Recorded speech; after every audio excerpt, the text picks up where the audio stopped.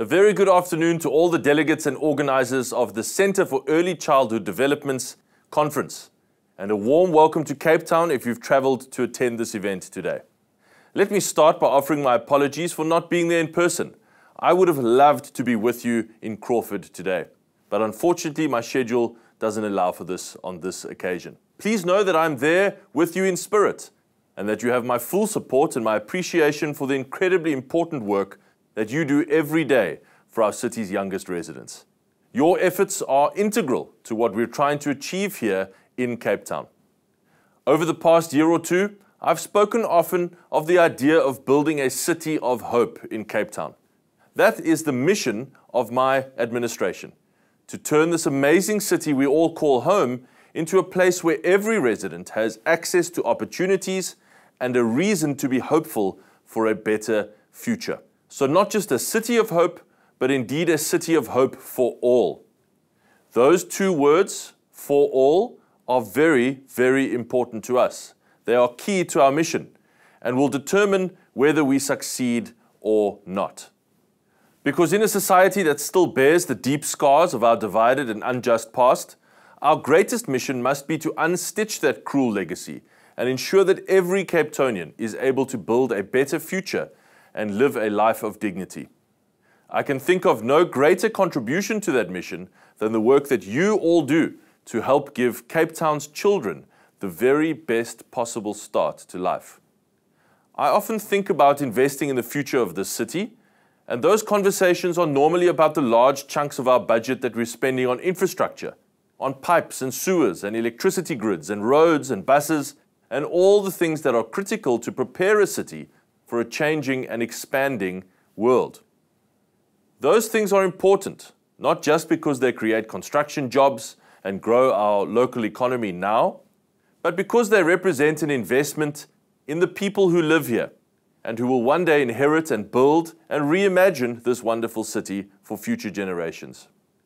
So, if we want Cape Town to be the greatest city on earth, we have to start by setting our youngest Capetonians on the path to success. Like anyone who's ever worked in public service, I've always known of the importance of early childhood development. I've known all of the academic arguments for investing in the nourishment, in the care, the intellectual stimulation, and the emotional bonding of preschool children. And I remember when I was a member of parliament for the Greater Philippi area, I worked with NGOs in the ECD sector to help get change to building regulations at a national level to make it easier for ECDs to thrive and register. But back then, I didn't have the leverage that actually being in a position of power brings to make positive change. A few years after that, when I started to raise my own daughter, the true potential and importance of early childhood development really hit home for me. That's when you become acutely aware of the developmental progress of a young child and how the first few years are so critical in laying the foundation for all that comes later in life. For so many children in South Africa, this foundation is not a given. And in many cases, even when there is supervision, there isn't necessarily care, stimulation, or even basic nutrition. Our country's disappointing literacy rates and generally poor education outcomes don't begin just in primary school, just as our devastating youth unemployment numbers don't begin only after high school. These challenges start right at the beginning of a child's life. And for many, there just isn't a clear path to escaping those poor social outcomes. There is no shortcut to fixing this. There is only the years and years of hard work done by the people in this room and all the thousands of other people out there who work in creches, daycares, nursery schools, and specialist institutions to help create an environment where children are not only looked after, but genuinely cared for.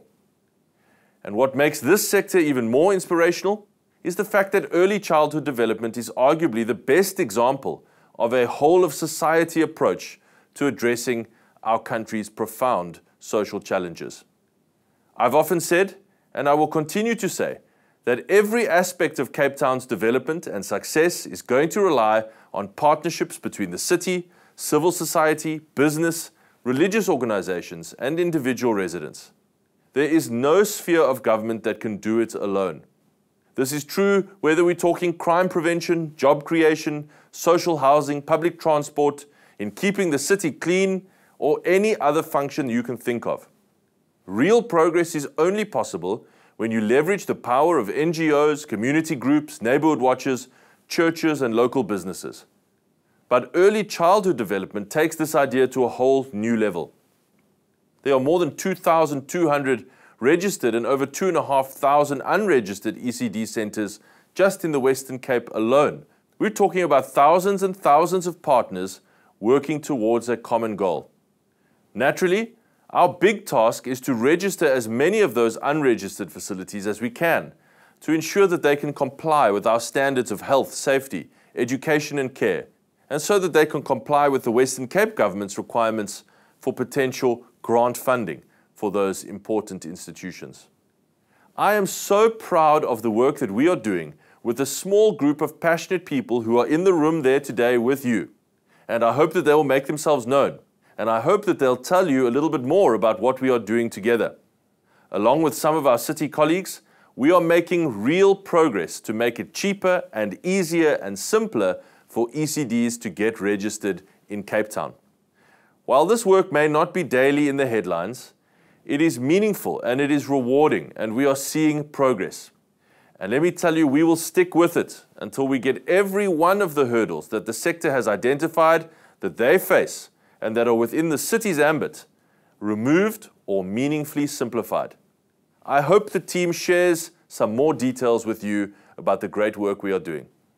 If we want to broaden the possibilities of every child in Cape Town, if we want to reverse the legacy of apartheid and ensure that all of our children hit their learning milestones so that they can one day do whatever they can dream of, we have to break the cycle that keeps so many people and young children trapped in poverty. So I'm so grateful, extremely grateful, and inspired by the work that you do every day to make that idea possible. I know that Cape Town's children will be richer in care, richer in education, and richer in opportunities in life thanks to the conversations taking place here over the next few days. And I wish you all a wonderful and constructive conference. Enjoy the discussions and enjoy Cape Town.